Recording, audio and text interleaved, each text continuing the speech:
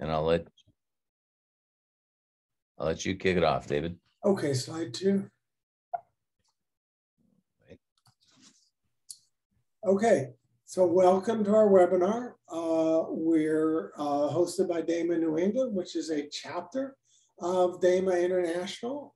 Uh, you know, primarily Connecticut, and Massachusetts, where most of them, it's a, anyway, we're a premier educational networking event. Um, host a lot of uh, webinars. We try to, uh, we have our DMBOK, the Data Management Book of Knowledge, and, and we try to arrange training uh, and education and certification around that. We do have a website, damanewengland.org, and membership, uh, you know, gets you free or discounted admission, educational or networking events, a growing knowledge base at the member-only section, including specialized videos and uh, networking and the like. Okay, so we're, we're moving on. Oh, oh, well, that's that's me. That's what I do, um, and uh, I, and uh, you know that's sort of the that's the end of the meeting. Uh, Great slide. Okay, over to me. So we're going to talk about what we call the data centric revolution and how that ties into to uh, low code, no code, model driven, et cetera, et cetera. I'm going to start though with a question I get from a lot of executives, which is where did all these silos come from? So we decided to do a little bit of research and uh, came up with this answer. A lot of silos come from the northern metal fab- fabricators in Wisconsin, USA.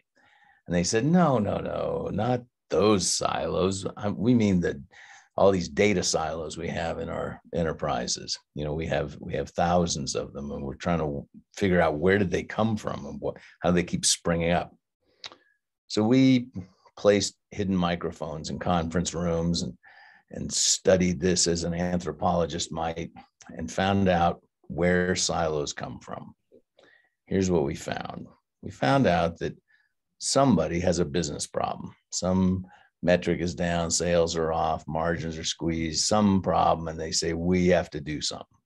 So they will convene a executive committee and they'll talk about it for a while. And you know, sometimes it's an organizational problem, sometimes it's a cultural problem, but very often it's an information system problem. So they convene a subcommittee who studies the problem for a while, and then they feel like they have a decision to make eh, about how to solve this problem. And it used to be the decision was the classic build or buy. You know, should we build a solution to solve this problem or should we just go buy one, buy a package? Nowadays, there's the third option. You can rent a solution. You know, software as a service is essentially paying monthly to solve that problem. So they think that's the fundamental decision they're making.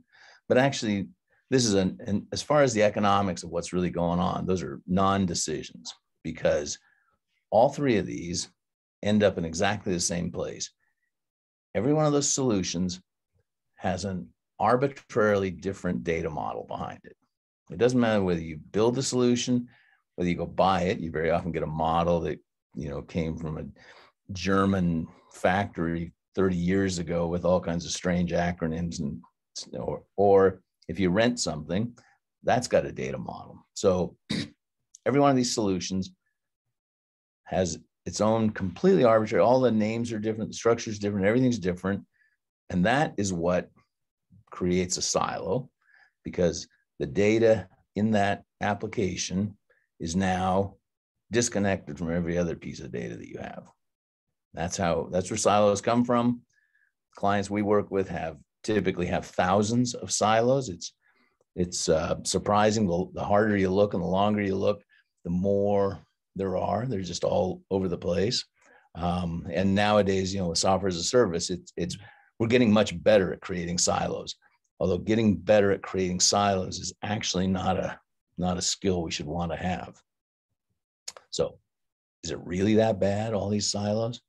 Well, right off the bat, it's it's chewing up almost half now, and soon more than half of your IT budget. Because once you create all these silos, you spend all your time trying to put everything back together again. some of it's attaching one application to another, or the applications to the data warehouse or the data lake or the data whatever um, acronym or, uh, or fad you're working on this year. So it's it's a huge deal, and it's much bigger than even this slide suggests. The the the overspend on IT because of this is many orders of magnitude. It, it, the, the, further I get into it, it sounds unbelievable, but everything we've seen says, no, no, no, this is real. This is an understatement, if anything. So anyhow, it used to be when we go into clients, we would construct an as-is diagram of their um, of their existing systems and here's all the systems and here's how they're interfaced and this one connects to this one and and some of these were almost comical how how bad they got. But finally you know one of our clients said look we don't need somebody to draw that picture. We know it's a mess. So i thought well maybe i'll just have an artist create uh, essentially a composite. Here's here's what most people's architectures look like um, and then you can figure out how yours is different than this um, you know, this is based on, on real architectures that we've seen. Uh, and there it is. And if you've been in a large enterprise, you kind of recognize that stuff down there at the bottom. That's your that's your data warehouse. The, right above that, that's how you're feeding it. Maybe Kafka these days. You got Snowflake in the lower right hand corner because that's the new thing. Big hairball in the middle is probably ERP and being fed through various other channels. And you got a new web front end and the digital transformation and all that stuff. But really, you know, they all kind of look like this very expensive, very brittle, not where you want to be. So it's made up a lot of legacy systems, which create the data silos. Then people have sort of kind of duct taped them back together, and the, and the integration is even more brittle than the legacy systems themselves. And then, you know, there's almost always whatever the new technology, you know, this this year it's Snowflake. You got to have Snowflake if you want want to improve your resume. Last year it was Kafka. Before that it was Talend, or it's always machine learning. One of the guys on the call said they're working on machine learning. So there's there's always something else added into that, but um, that's basically what an enterprise looks like. Um, but it doesn't have to. That's what most enterprises look like. There's a very, very small number that don't look like that. So we're going to get into the thick of this, but by now you're probably getting the idea that I'm pretty opinionated. I guess I am. So where did my opinions come from? Um, I founded this current company in the year 2000. We had had a dot com in the 90s, as everyone did, and, and David sort of alluded to it a bit. Uh, we had built, patented, we're using a very, the pretty much first pure model driven environment. It, it was pre semantic. We used the idea of semantics, but implemented in an, in an object oriented database. We built a bunch of healthcare applications. We had revenue, we had clients. We, we were not profitable. We had to go public in the spring of 2000. And, uh, you know, we were in registration. We had the underwriters. But if you recall the dot com bomb, bust, balloon, whatever it was, uh, happened. So we were, and we couldn't get our technology because it was in the, the smoldering ruins of this company. So we just decided to start consulting, uh, decided to take what we learned about semantics and apply it to enterprise information systems.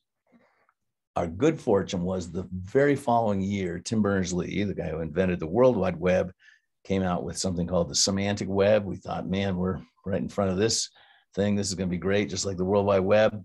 But frankly, nothing happened. Year or two after that, I wrote uh, my first book, Semantics and Business Systems, which was just making the case why you should think deeply about what things mean before you try and design something. I think it's still a sensible idea. Um, through this period, we were mostly doing traditional consulting, at least uh, we appeared to. Behind the scenes, we were doing all this semantics, learning our craft, teaching classes. We eventually started this uh, conference that had a very big draw, and, and, therefore we ended up getting to know everybody that was in this industry. Right about in the middle of that time period, or actually early in this this time period, some of our, some clients actually wanted an ontology, which is a semantic model of your data, and we started building them and got quite good at it.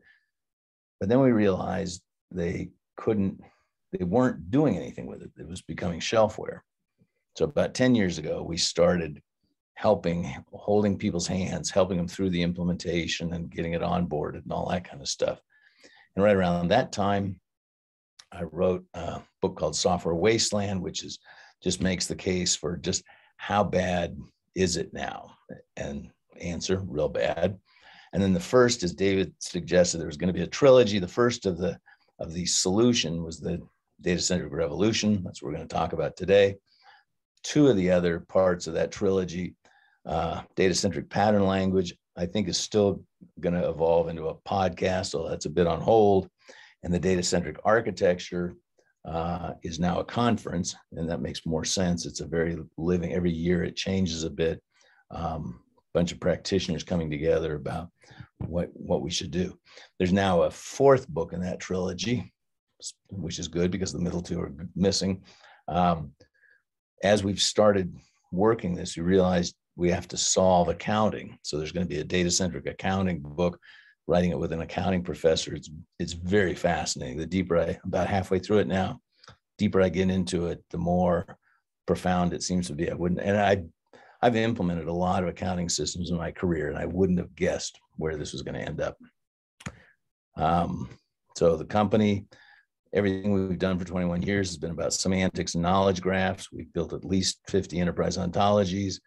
There's 27 of us now, but um, we're probably one of the largest collections of these kind of people. And we create and maintain and make freely available an upper ontology. It's called GIST. It's on our website. You'll see it at the end of the presentation. And um, just to give you an idea who's on this journey at some level or not, these are people who have worked with us. They're doing some of this, and here's some other uh, smaller, either smaller companies you haven't heard of that are doing this, or larger companies who, you know, we've worked with, but we haven't gotten them very far on that journey. So anyhow, that's me. Let's get back to what we're going to talk about. My thesis is there's there's two there's two roads here. There's the, the road, the well-traveled road to the right and the road less traveled off there to the left. This road, the, the default path that everybody gets on, we call it the application-centric quagmire and the castle on the hill data-centric. We're going to distinguish those. Uh, when, when you're in the quagmire, you know, the more you struggle, the deeper you go. Every project is is work and it's hard. And um, but let's you know, let's make this a little bit more specific. There's some incredibly classic over the top examples, but also some more mundane ones. But we see this every place we go. I was sitting at my desk minding my own business several years ago, and one of my developers came in and said, I just heard about a system that has 500 million lines of code. What kind of system could possibly need that amount of code? I said, I don't know what is. And he told me it was healthcare. I got it literally was the week it was launching, whenever that was. And we said, well, get a pad of paper. Let's sit down and see what it is. And we stepped through it, screen by screen, writing down what it did. And we got to the end of it. We went, that's it. Uh, that's, you know, tens of thousands of lines of code if you're sloppy and a few thousand if you're really model driven. I mean, that, this is ridiculous. Um, the and by this point, they'd already the $93 million project had already become 500 million. Since then, it's up to 2 billion. Um, that same week, I happened to be at a conference and met the CEO of a company called Topcoder, where they um, have these little code X prize, very mini X prizes for difficult problems. They give it to a team, two or three teams, and they compete against each other to see who can solve it the best. And I said, You're not going to believe this, but healthcare.gov is a Topcoder sized problem. He thought it was a pretty cool idea. We were going to go look for a sponsor because somebody has to put up the prize money, but we were thinking 50 grand or 100 grand. Um, but before we could even get to that, we stumbled across something called healthsherpa.com. And I went to their website. In fact, uh, shortly there, shortly after the healthcare.gov one, much better experience, faster, same exact same answer. Um, and I got curious about it. You know, did you also spend $500 million? No, this is the entire team. In fact, it was about half this at the time I first did it. I've had several interviews with the CEO, the guy in the middle and the front there. His name's George. uh, about how that what they did, how they did it. You know, about half of this team built the equivalent in a in literally about six or seven weeks, and it actually performs better than um, healthcare.gov itself. Uh, I, I, found out about a project in Australia, in, Victoria Province, where they they the police cars had cameras on their dashes. What they wanted was a software project that would use the camera, take pictures of license plates, and automatically, while you're driving around, read the license plate, hit a database, and find out if it's stolen or expired. Um, a developer down in Australia named Tait Brown looked at that. This, by the way, became an $86 million project. This developer thought, gee, I wonder how much of that you could do with open source. It turns out this is about half the solution. The, re- the remainder of the solution is one more page of code. He put it in his own car with a camera, was driving around, you know, finding people with expired license plates. Um, I actually sent him a copy of my book because I thought this so uh, uh, encapsulated what, what the book was about. He was a little afraid to open it. He got this unsolicited package. He later said in his blog, I thought it might be full of anthrax because the, the integrators on that project may be out for me. But another idea just how, how far out of whack things are. In Canada, they, they put out a project bid uh, to register all the rifles in Canada, and there's only about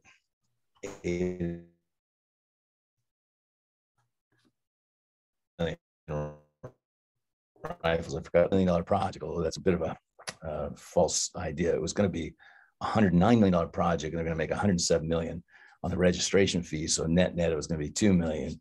An amazing amount of precision, as usual with these things. Um, it eventually became, I think, a billion and a half dollars when they when they finally canceled it.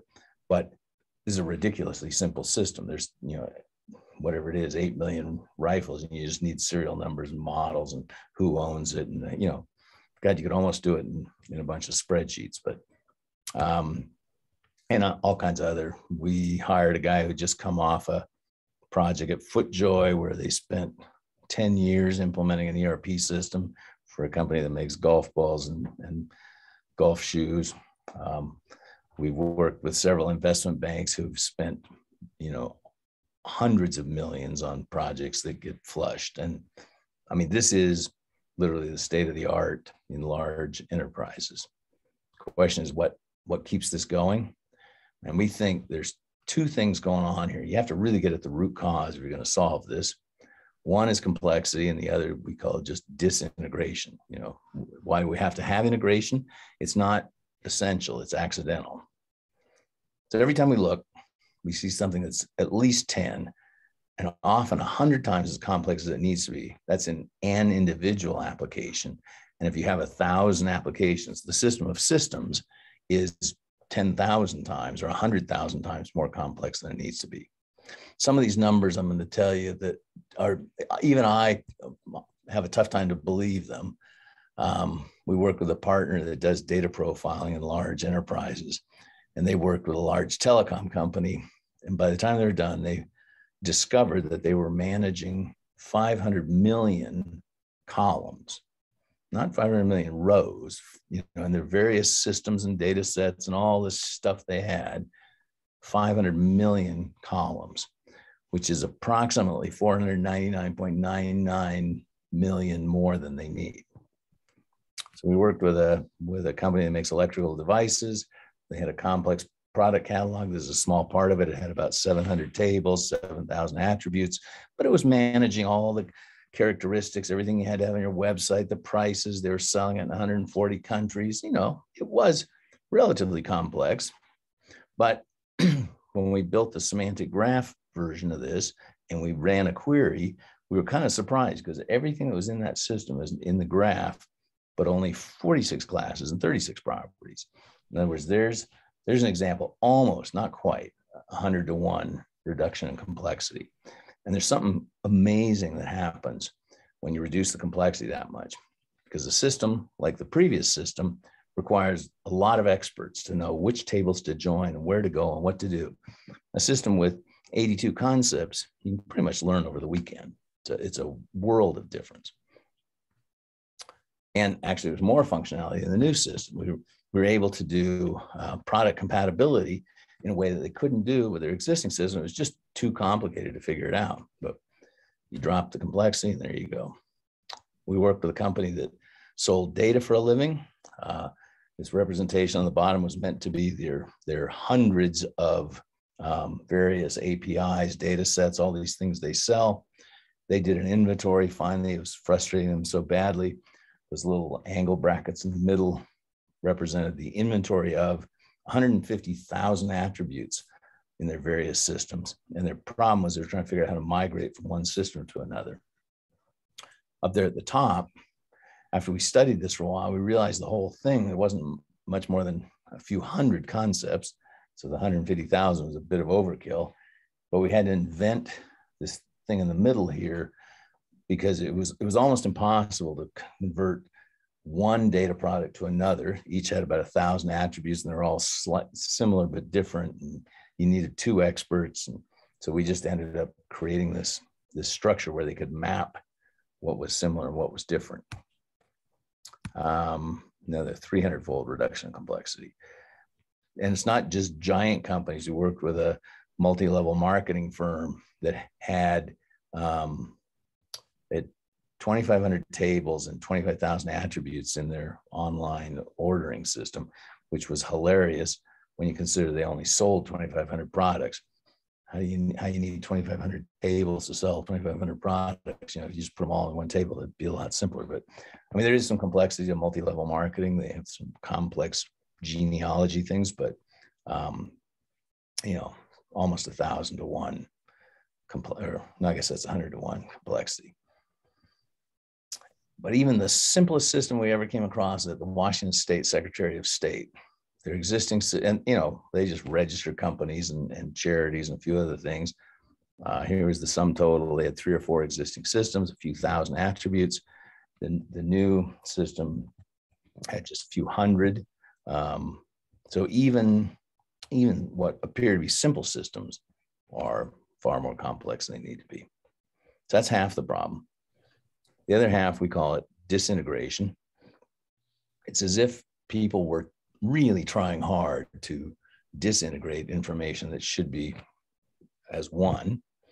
Um, we work for a workers' compensation insurance company, and they had hundreds of systems. and every time they implemented a system, every once in a while, there the system would involve receiving money from someone. So they had a elevator permitting system. So you had to pay for the permits, and they had a, you know, if you overpaid somebody a, a claimant on a workers' compensation, you had to get some money back. They called that claimant overpayment, and they had turned out there was 23 ways to keep track of money that other people owed them, and as you can imagine, that created all kinds of revenue recognition problems and and complexity and everything else. You know, it's just and nobody intentionally sat down and said, let's create 23 ways of doing the same thing. But that's exactly what happens. And if you don't have a way of seeing that, you can't correct it.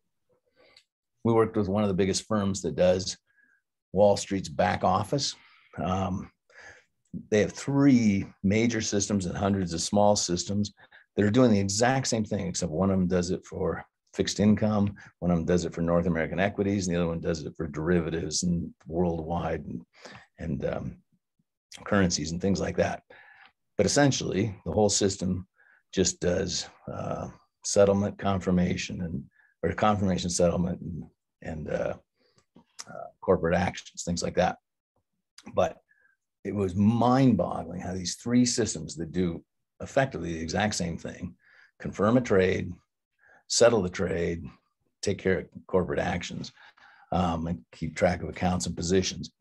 A, it could be complex, but could be so dissimilar, especially these last couple of things. They were implemented at different levels of abstraction to where one of them, all the tables were were you know financial instruments and things like that. The other one, everything was a table pointing to a table, pointing to another table, and and on you go. Anyway, I'm just reiterating the current state of things. Uh, I want to suggest this isn't inevitable. There is another way. We call it becoming data centric. Um, I know it sounds, there's all kinds of buzzwords going around right now. there's the data lake, there's data fabric, there's data mesh, there's the data lake house. That's the newest one if you haven't caught that one. Um, so I'm just going to distinguish what we're talking about here from all those things. I don't want to spend a lot of time with them. Um, but the central idea is, is start with the data model, the data that is ultimately going to be shared and the data that the enterprise runs off of. Don't start with a business function that you're going to automate because if you start with the process, it looks like data is a byproduct or, or, or worse of the process and that it's owned by the process. And you know that's what creates the silo. And the scope is the enterprise the scope of the model isn't an individual application. If you really want to get past this unintentional disintegration, you have to change the scope to where you can. So this is kind of a, a word sandwich, but it's we've been using it for quite a while and it works pretty well. And I'm gonna I'm gonna piece this apart, but this is our definition of being data centric. That your the functionality you build or that you use is loosely bound you know, it is bound in some way. There is application functionality, but to a single, simple, extensible, federatable, universal, shared, and directly implementable model. And that directly implementable is where we get to the model driven low code, no code. Um, but let's fill in some of the blanks before we get there. When we say single, to distinguish in a traditional enterprise architecture, there's one data model per application. Therefore, you have thousands of data models. We're talking about in this, at the core, there's a single model, hundreds of concepts, not thousands of concepts, and certainly not thousands of models. That's where this thing is going to start from. The second part of this is that it's simple. Like we said earlier, in a traditional enterprise, every application has thousands of concepts. The enterprise, therefore, has millions of concepts that people have to learn. And by the way, the average high school graduate knows 20,000 concepts, knows, has a vocabulary of 20,000 words. The average college graduate, 40,000. Think about that when you think about how an enterprise has to bring a bunch of people in and learn millions of things. It's really not happening. Um, in a data centric architecture, every place we've gone, the core has somewhere around 500 to 1,000 concepts. That's to cover pretty much everything the enterprise does. Not all the specific uh, variations down in the division and stuff, but that which holds it all together. This idea of being extensible. Um, in a traditional enterprise, there's no mechanism for extending a model. You, you, that's why people keep creating more uh, applications. Here, our little graphic here suggests you know, if you have the enterprise core ontology is what is future proofing what you're doing, what holds everything together. You go into some specific domain. In this example, I said, let's say hand tools, you know, that's a special kind of inventory. Most of the shared concepts are in the core. When you go over to the next ontology, fresh produce, you can use everything that was already in the core, but now we're adding things like use by dates that weren't in the hand tools, but but really what we what we find is very small additions give you a lot of extra capability.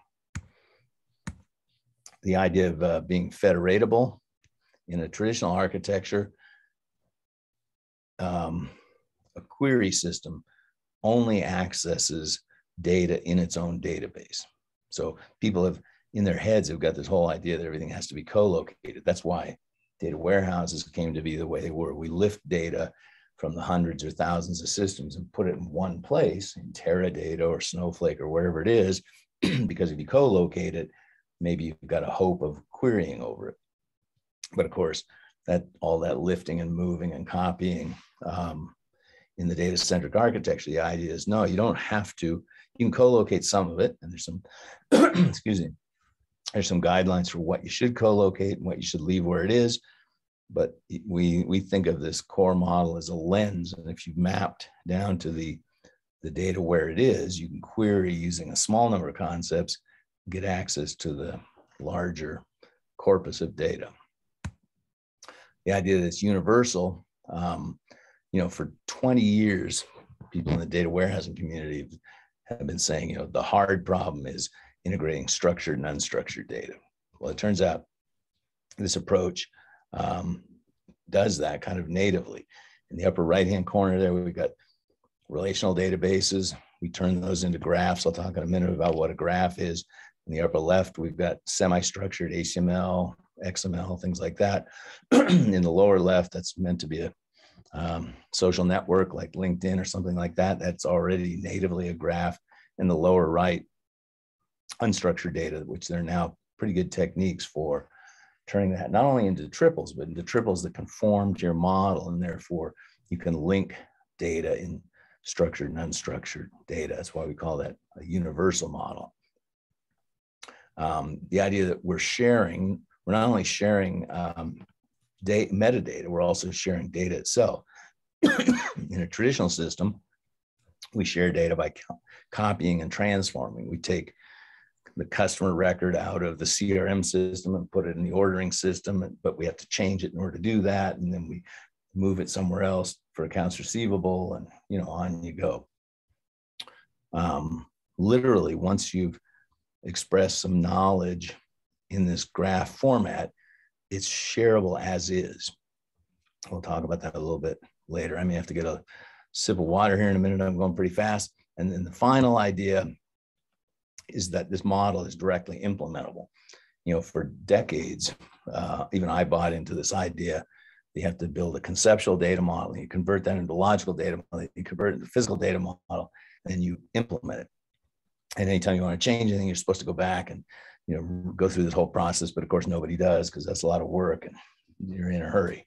but it turns out in these in this data centric world, the conceptual, logical, and physical models are all the same. And once you've modeled person, it doesn't change. You go through um, because it's a much more flexible architecture. I'm going to grab a sip of water, be back in just a second.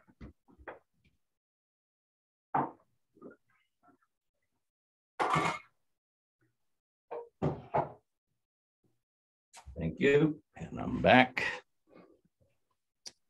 Okay, so if that's the destination, how do we get there?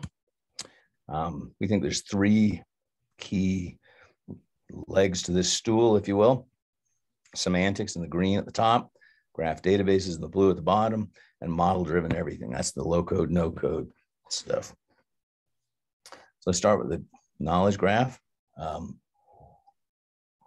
what a graph database gives you is, is flexibility.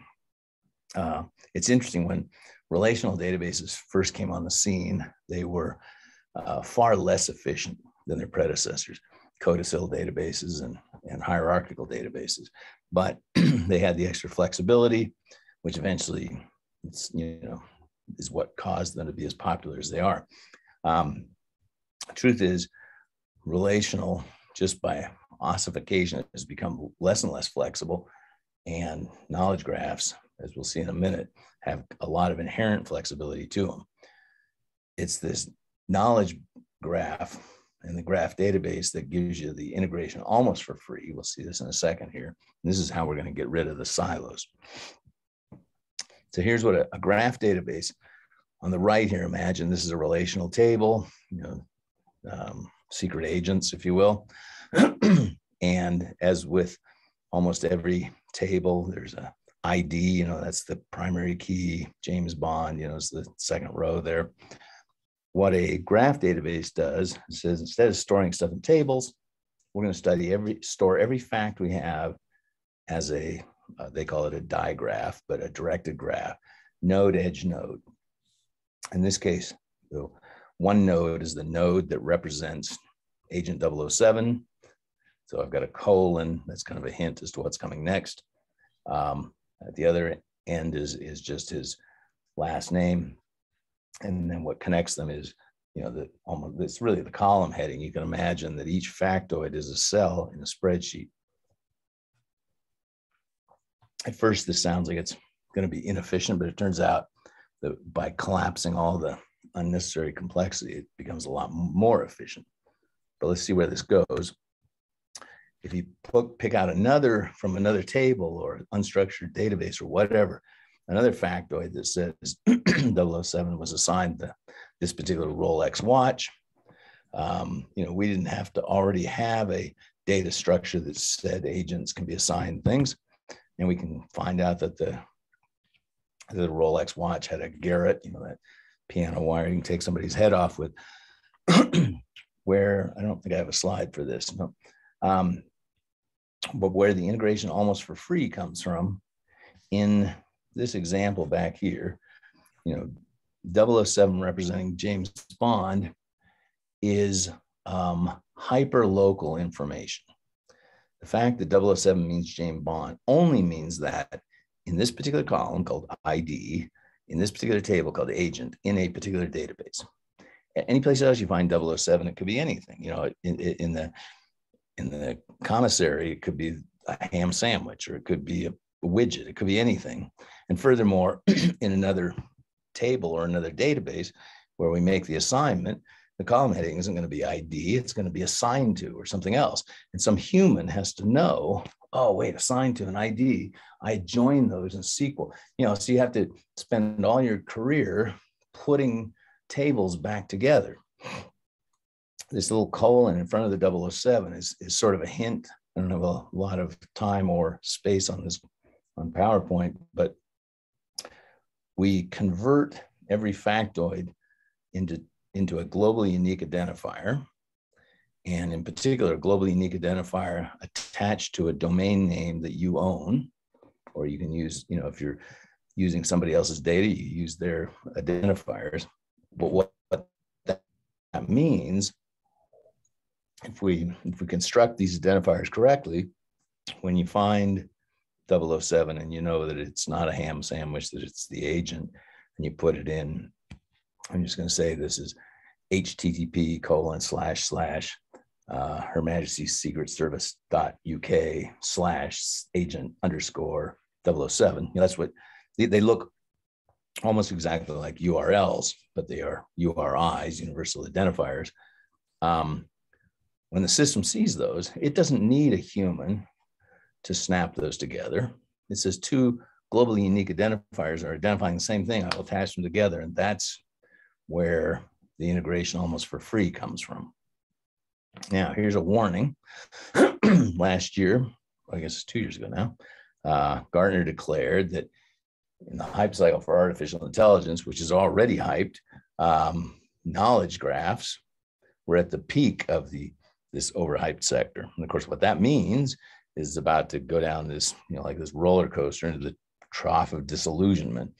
Um, but fear not. The trough of disillusionment is just created because once something gets hyped, a whole bunch of people jump onto it, claim they can do it, can't do it. They screw up their implementations. And that's where that's why people get disillusioned. And when you come out the other end, um, the handful of people who knew what they're doing survive and, and everything's fine. That's what's going to happen here. So let's go to the second uh, leg of the three-legged stool. Semantics is a study of meaning. Uh, the W3C has a standard called OWL, which is um, stands for the Web Ontology Language. It's a little dyslexic. Um, if you build a model in OWL, that's called an ontology.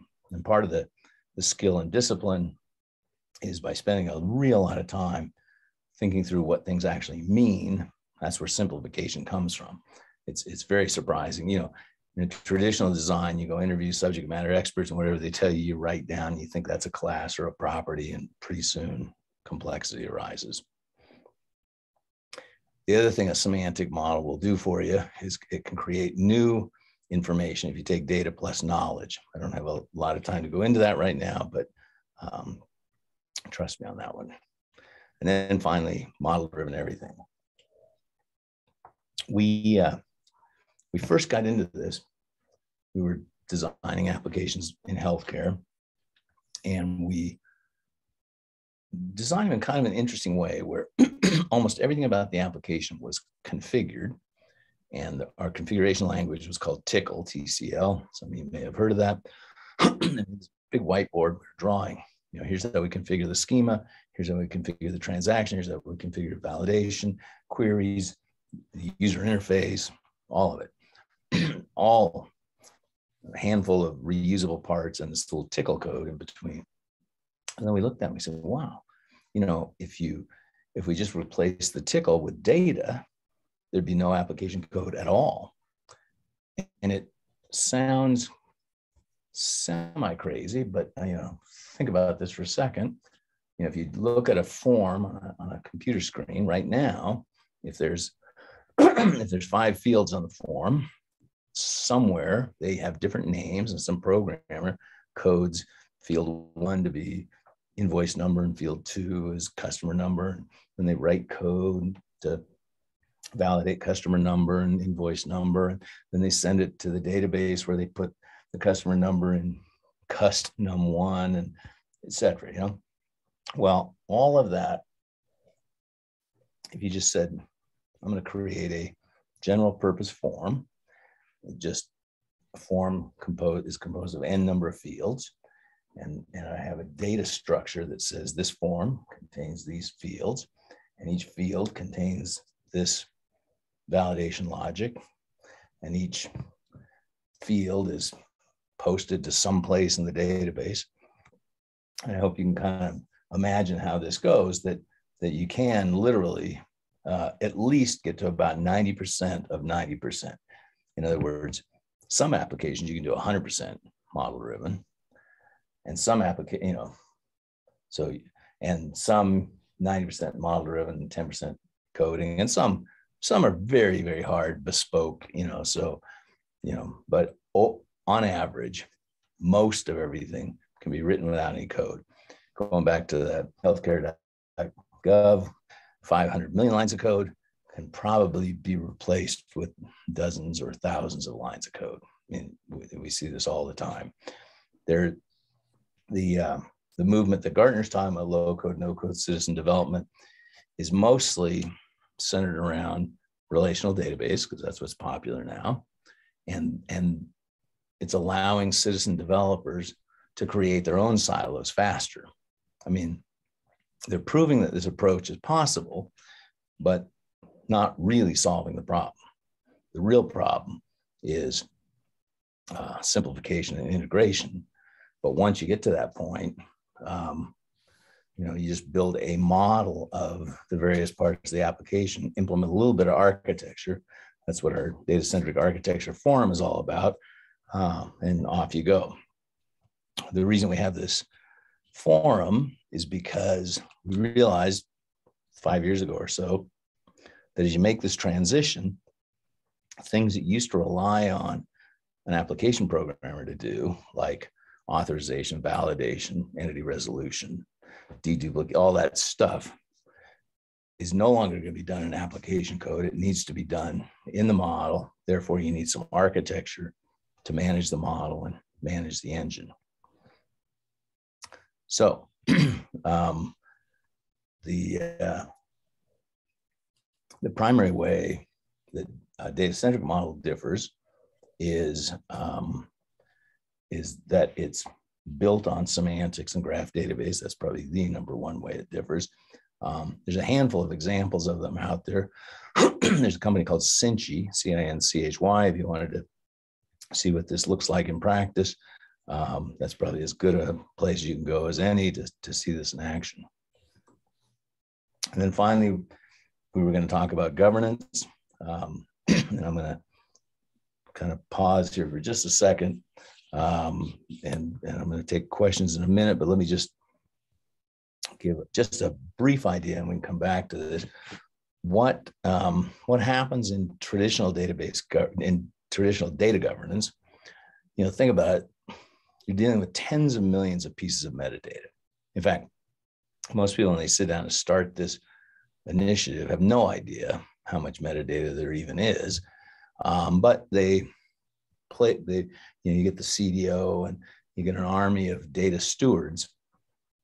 But the stewards aren't really stewards of anything. They're just knowledgeable people in a department that that know where certain kinds of which systems and which tables and what these many of these elements mean. I mean, it's very useful, but they're not actually stewards of any of anything. They're just because it's so complicated, you have to decentralize the understanding of it.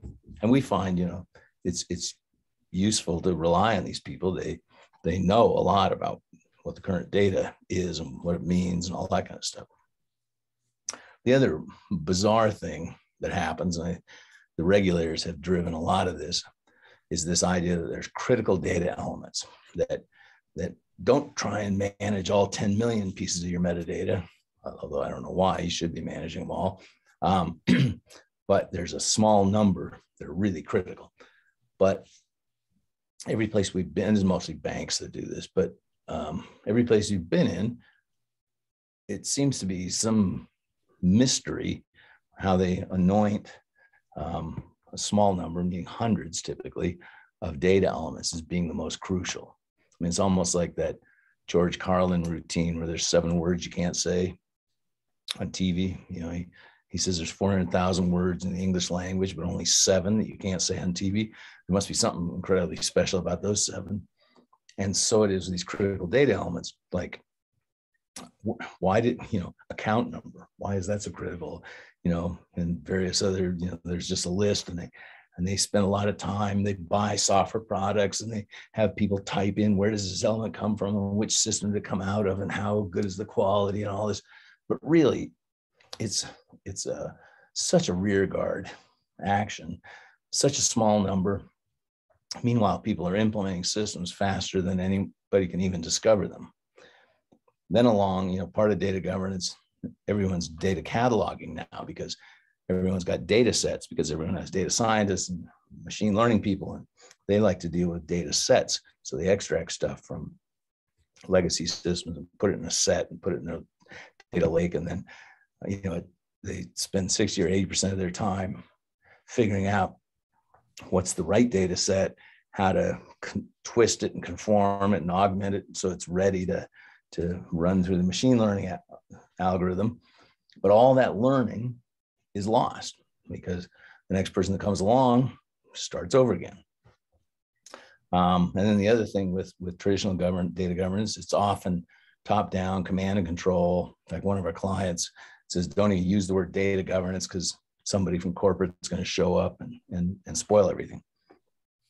What we've seen um, work a lot better, one of our clients coined this term, so we use it now.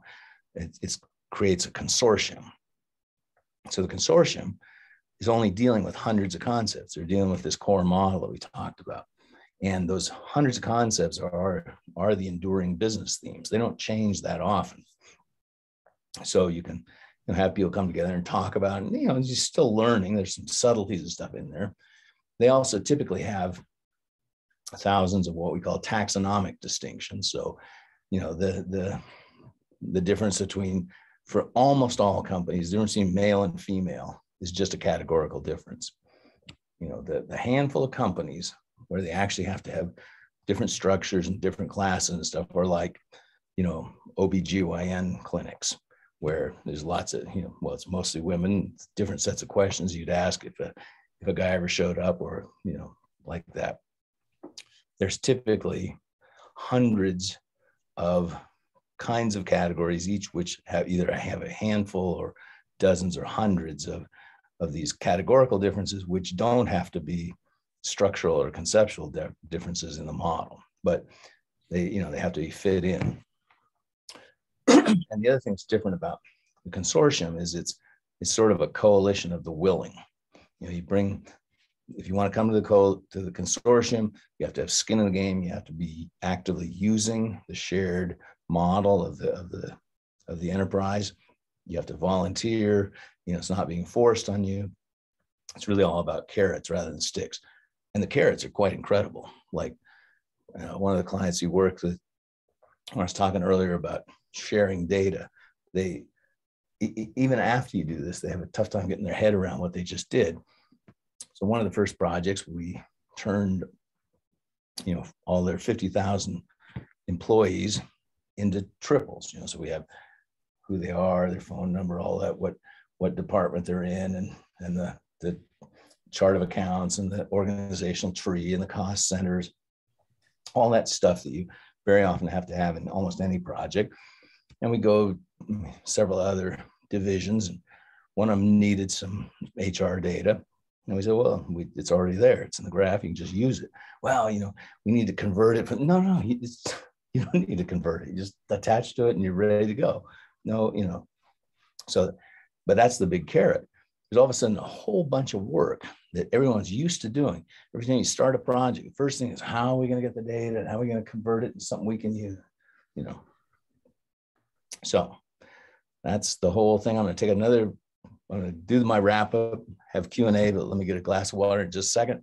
If you recall, this is what most enterprise architectures look like. Um, there's the main road off there to the right.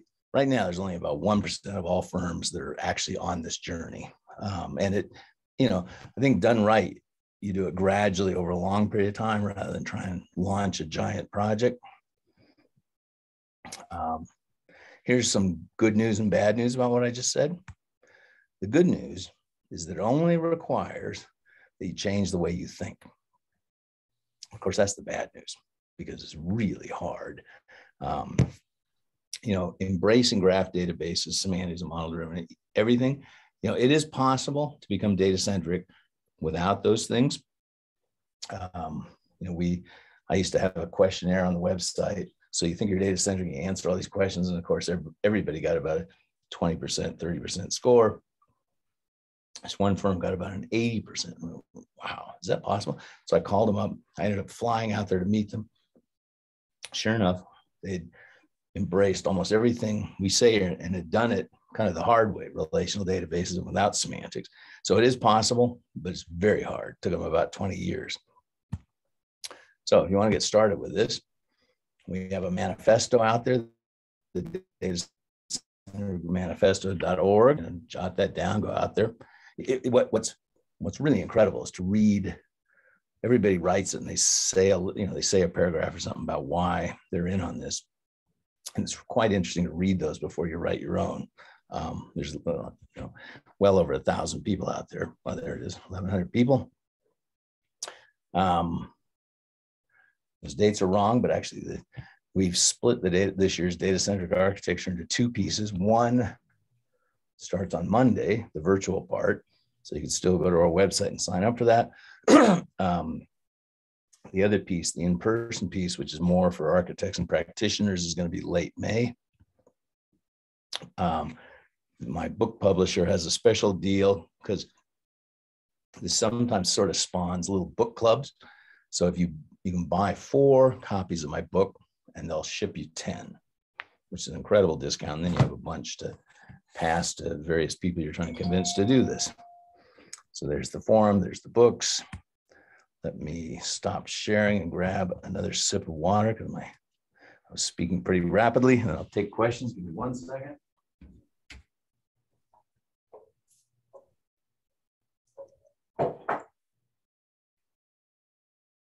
Um, there you have it.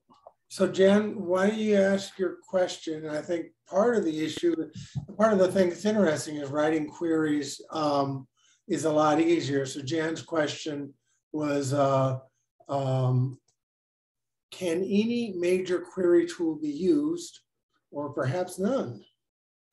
Um, there's, there's two sort of paths out there right now. There's, there are proprietary graph databases, which are almost always the fastest to get started with, the cheapest and, and easiest. And they are like Neo4j, Titan, Orient, people like that. but we advocate people stick with standards um, because we think this is going to be a long journey. And so, you know, if don't get stuck with one vendor, there's there are many vendors over on the standard side. There's about a dozen graph database vendors that are viable and open source ones and the like. And so on the open standard side, the graph language is called SPARQL, S P A R Q L. It has a, probably too much resemblance to SQL. When you first look at it, you think it's the same, but but actually the difference is in SQL, you spend most of your time in the where clause stitching all the tables together. And in a graph database, it's it's already stitched together. You're really trying to say what part of the graph do I want to look at or what do I want to aggregate. There's also some in-between languages. There's something called GraphQL. There's something called uh, Cypher. Um, a lot of developers like those better because they look closer to a to what they're used to. Um, but um, you know, we think the the long term path is is with the standards going down that way. Sure, uh, people are just welcome to speak. Uh, probably. Yep. Their voices there. Um, you know, to me, the whole thing we've talked about it before is, uh, you know, people just don't um, believe it's possible. Can it be true? Yep. Yep. Yep. It's absolutely true. I mean, it's it's kind of why less than one percent of all companies are doing this. Now, some people see that as a negative. They don't want to get away from the crowd, but obviously, a small percentage see that as a positive. That's that's where the advantage lies.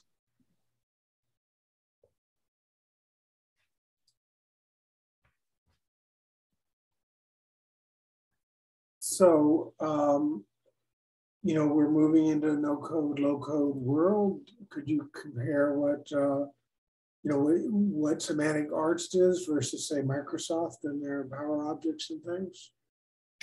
Yeah. So we we don't offer a product. We're purely professional services and consulting. Um, so we're different at, at, sort of at that level.